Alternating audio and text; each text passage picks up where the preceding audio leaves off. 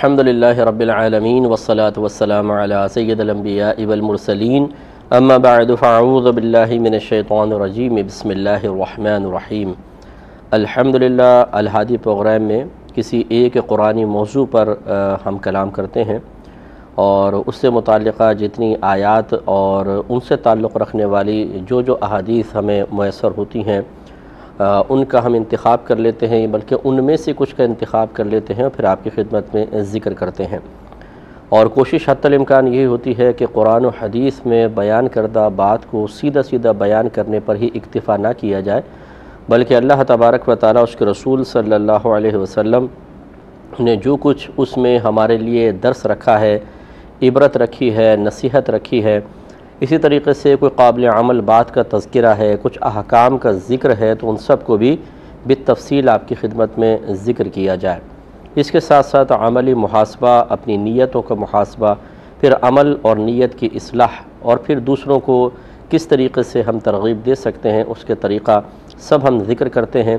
तो गोया कि ये आपका 18 मिनट 20 मिनट तक प्रोग्राम का देखना इन ना सिर्फ़ मालूम में इजाफ़े का सबब बनता है बल्कि हमारे बहुत सारे गुनाहों का कफ़ारा, नीकियों में इजाफ़े, दराजात की बुलंदी, अपने अयूब नक़ाइस पर मुतल होने और फिर उनके तदारुक का मौका भी फ़राहम करता है। तो आपसे मेरी ये गुजारिश होगी कि आप भी पाबंदी से इस प्रोग्राम को मुलाहजा फ़रमाएँ और दूसरों को भी देखने की तरगीब दें।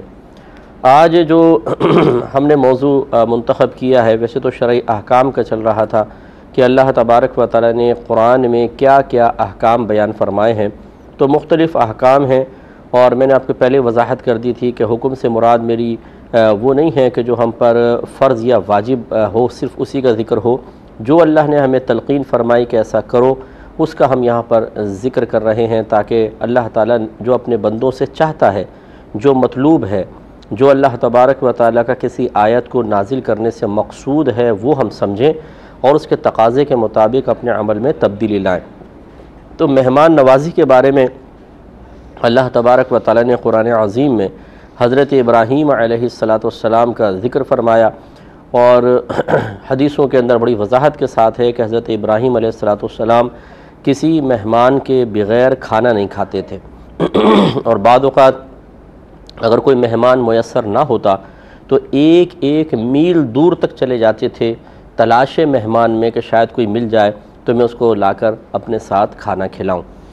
तो ये एक बहुत ही अच्छी चीज़ होती है कि इंसान खाना वगैरह खिलाए, अपने मेहमानों की तज़ीम करे और उनका, उनकी तकरीम करे और उनके ज़रिए फिर अल्लाह तबारक व ताली की बारगाह से दराजात की बुलंदी का सामान करे।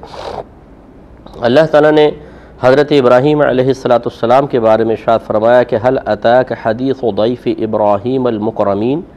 ए हबीब करीम सल्लल्लाहु अलैहि वसल्लम, क्या आपके पास इब्राहीम अलैहिस्सलाम के मुआज़ मेहमानों की ख़बर आई?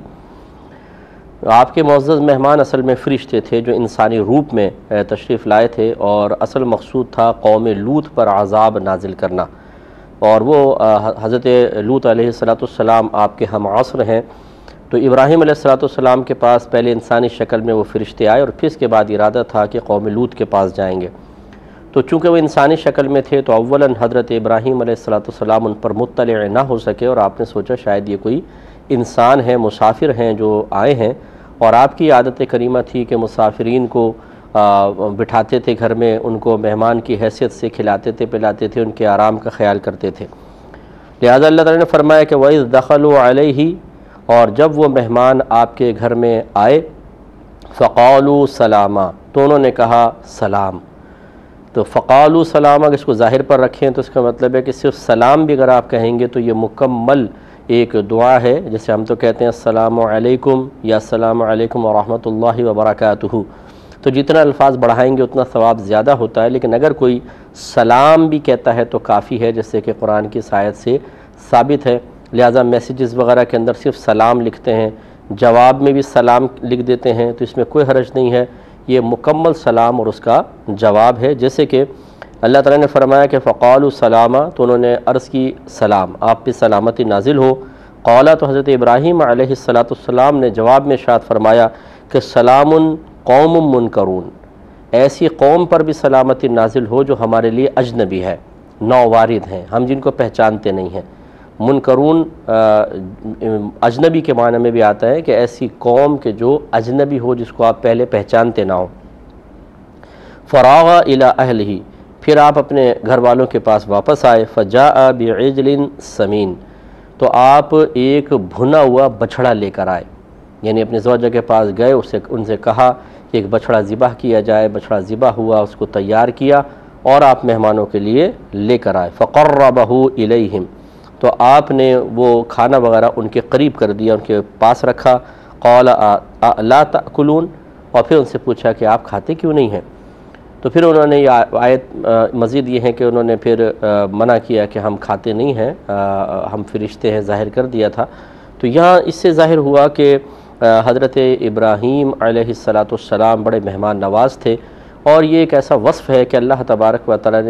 खसूस तौर पर कुरान अज़ीम में इसके बारे में आपकी तरफ़ मंसूब करके ये कलाम नाजिल फरमाया। तो हमें भी कोशिश ये करनी चाहिए कि मेहमान नवाजी की आदत बनाएँ और इसके बारे में चंद अहकाम सीखने की कोशिश करें। देखें बाद एक तो होते हैं, मुलाकाती होते हैं, जैसे कोई महल्ले वाला है, थोड़ी देर के लिए हमारे पास घर में आकर बैठ गया, दोस्त आकर बैठ गए हकीकता ये मेहमान नहीं होते।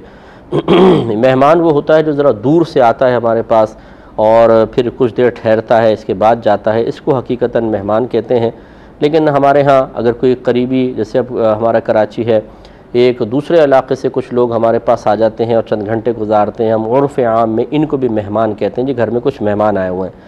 तो उर्फ़ के एतबार से जो भी हमारे पास ज़रा दूर से आता है, उसको हम मेहमान कह देते हैं। अब चाहे वो स्टे करे नाइट में या चंद घंटे रुक कर चले जाए, हम उसे मेहमान ही कहते हैं।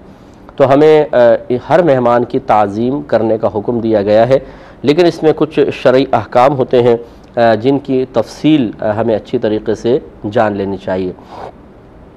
तो मेहमान कई तरह के हो सकते हैं। नंबर एक एक तो है कि गैर मुस्लिम हमारे पास आता है। आ, कोई काफिर शख्स है वो जान पहचान है दोस्ती है वो आ गया जी कहीं दूर से हमारे पास। तो याद रखें कि बहसीत इंसान के अगर कोई आ जाता है घर में किसी लिहाज से आपका उनसे कोई रिलेशन था तो ज़ाहरी बर्ताव करने में तो कोई हर्ज नहीं है। हमारा मज़हब ये नहीं कहता है कि अगर कोई गैर मुस्लिम आपके पास आए तो आप अंदर से कुंडी लगा दें और उसको धुतकार दें। ये इसकी इजाज़त नहीं देता है। हाँ इस पर मैं बारहा कलाम कर चुका हूँ कि दोस्ती करना आ, बहुत ज़्यादा उनके साथ उठना बैठना जैसे हम बाज़ फैमिलीज़ फैमिली टर्म्स हो जाते हैं। बहुत ही क्लोज़ हो जाते हैं कि आ रहे हैं, जा रहे हैं, बहुत वक्त एक दूसरे के साथ गुजार रहे हैं, तोहफ़े तहफ़ दे रहे हैं, राज़ नियाज की बातें हो रही हैं। उनको काबिल एतमाद समझते हुए अपने बहुत से प्राइवेट मसाइल में उनसे मुशावरत कर रहे हैं। इस किस्म की क्लोजनेस जो है वो शरीयत गैर मुस्लिम से पसंद नहीं करती है। वजह इसकी यह है, ये नहीं कि हमारा मज़हब गैर मुस्लिम को से नफ़रत करने का दर्ज देता है, या अच्छी तरह नुकता समझ लीजिएगा। ये वजह नहीं है, बल्कि वजह यह है कि एक तो जब इंसान किसी के साथ बहुत ज़्यादा उठता बैठता है तो अल्लाह तबारक व ताली ने हमें पैदा किया और वह क़्यामत तक के मुसलमानों को जानता है कि इनकी कैफियत क्या होंगी और इनकी इलमी सतह क्या होगी। अब सूरत हाल ये है कि हम अपने दीन की बेसिक्स भी नहीं जानते। अगर एक गैर मुस्लिम आकर हमसे कहे कि अल्लाह तबारक व ताली का इंट्रोडक्शन तो कराओ, तारुफ़ कराओ कि आप अल्लाह को, कौन है आपका अल्लाह? किसको आप अपना रब मानते हैं? उसको थोड़ा सा तारुफ़ पेश कराओ। तो शायद हमारा मुसलमान जहन में जुमले मुरतब करना शुरू करेगा कि मैं किस तरीके से अल्लाह तबारक व ताली का ऐसा तारुफ़ करवाऊँ कि उस पर कोई एतराज़ ना कर सके। इसी तरह अगर वो पूछ लें, इस्लाम क्या है? तो हम तो अपने इस्लाम को भी सही तरीके से बयान नहीं कर सकते कि इस्लाम है क्या। और इसके अलावा फिर दीगर दुनियावी बात बुनियादी बातें अगर वो हमसे पूछें तो हमारे मुसलमान भाई बहनों को नहीं आते। यही वजह कि कई हजरात हमें फ़ोन करते हैं कि जी हमारे पास एक शख्स आया है मुसलमान होने के लिए। अब हमें तो पता नहीं कि उसका तरीक़ा क्या है तो हम क्या करें? और बाज़ कहते हैं, जैसे किसी ने कहा, जी, मैं मुसलमान होना चाहता हूँ। बोलते हमें नहीं पता, आप ऐसे करो, मस्जिद के मौलवी साहब के पास चले जाओ। तो जब मुसलमान की ये इल्मी हैसियत, ये इल्मी हालत हो, और दीन से दूरी का आलम ये हो और उसमें फिर तुर्रा ये कि गैर मुसलिमीन के साथ इस हद तक इख्तलात हो जाए तो ये कोई बईद नहीं है कि हम दीन से दूर हैं, जहन में तालीमत मौजूद नहीं हैं, नफ्स शैतान गालिब हैं तो हमें गैर मुसलिमीन की इबादत, उनके अकायद अच्छे लगने लगें। और अगर खुदा न खास्ता सोहबत में रहकर ऐसा हुआ तो फिर इंसान तबाह बर्बाद हो जाएगा। अब आप कहेंगे कि नहीं नहीं, ऐसा नहीं होता, हमारी ऊपर ऐसी कोई कैफियत तारी नहीं होगी। हज़रत अगर अभी नहीं है तो हो सकती है। मैं एक आसान सी मिसाल से समझा देता हूँ। बाद आप बाहर होते हैं, आप किसी को गाली बकते देखते हैं, अगर आप अच्छे शरीफ हैं तो आपको बड़ा बुरा महसूस होता है और आप नागवारी का इजहार करते हैं। लेकिन बाद वैसी गालियाँ हमारे घर के अंदर हो रही होती हैं, बल्कि औरतें दे रही होती हैं, कोई परवाह नहीं होती। बाहर कोई झूठ बोल दे, हमें बड़ा बुरा महसूस हो रहा होता है। लेकिन घर में हमारी वालदा बैठ के बाद झूठ बोल रही हैं और हमें बुरा महसूस नहीं होता। बेटियों के बारे में कोई रिश्ता लेकर आया, बच्ची है तीस साल ही कहते हुए तो सोलवे में लगी है ये। और हुनर बिल्कुल भी नहीं आता, सलीका कुछ भी नहीं आता। और शादी करेंगे, कहेंगे कि इससे बेहतरीन लड़की पूरे पाकिस्तान में आपको नहीं मिलेगी, हमारी बच्ची बेहतरीन सलीका मंद है, हमने बड़ी अच्छी तरबियत की। वो तो फिर जब ससुराल पहुँचती है तो पता चलता है कि जी कितनी तरबियत अजीमा है। इसी तरीके से जो दीनदार लोग होते हैं, बाद कोई बाहर शख्स अगर शेव करवा रहा है तो सुन्नत रसूल को ख़त्म करवाने की वजह से उसे देख कर शायद नागवारी महसूस हो। लेकिन वही फ़ेल बाद घर में वालिद साहब कर रहे होते हैं, बड़ा भाई कर रहा होता है, चचा मामा ताया कर रहे होते हैं, लेकिन कोई मतलब बुरा महसूस नहीं होता। वजह क्या है? ये अपने हैं, ये हमारे करीबी हैं। तो अक्सर ऐसी होता है। और यूँ ही अगर कोई आवारा गर्दियाँ कर रहा है, गलत किस्म के काम कर रहा है तो हम इतना, हम बुरा महसूस करते हैं। लेकिन करीबी दोस्त बाद उससे कहीं ज़्यादा बुरे काम कर रहे होते हैं, लेकिन हमें दिल में इतना बुरा महसूस नहीं होता। क्यों? दोस्त है। ये हमारा अपना है।